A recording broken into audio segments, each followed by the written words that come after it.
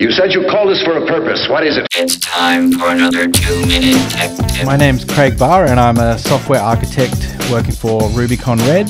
The two minute clock starts now. In this tech tip, I'm going to show you how to run a Java WebLogic application within a Docker image and how you can test that out locally using Docker Compose. And then you can push that image to a registry like Docker Hub, and then from that registry, you can you can then pull the image and run it on the Oracle Container Cloud Service. So I'm going to jump into the terminal here, and I'm going to show you that I have a application called medrec.ear if I go into my Docker Docker file, you'll see that I'm copying the medrec ear file into the auto deploy directory of the domain home. That means that when WebLogic boots up, it'll automatically start this image on the first boot. And if I jump over to my Docker Compose stack definition, I'm using the official WebLogic image for 12.2.1 being pulled from the Oracle Container Registry. It's going to come up on port 7001.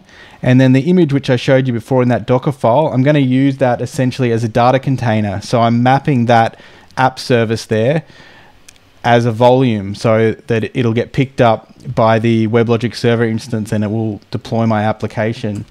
So what I can do is I can go to push that application itself to, in this instance, it will be Docker Hub. So I'm pushing that image. It's quite a uh, relatively small image because it's just got my ear file. And if I jump over to my web browser, you'll see that I've already got that Docker Compose stack running. So on localhost 7001 slash medrec, it's there running.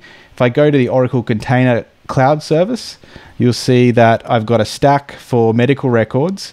And in the advanced editor, I'm using the exact same stack definition as I have in Docker Compose.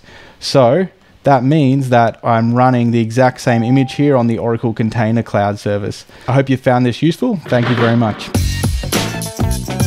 What did you think of that tip? It is good. We want your opinion. Thanks for watching and stay tuned.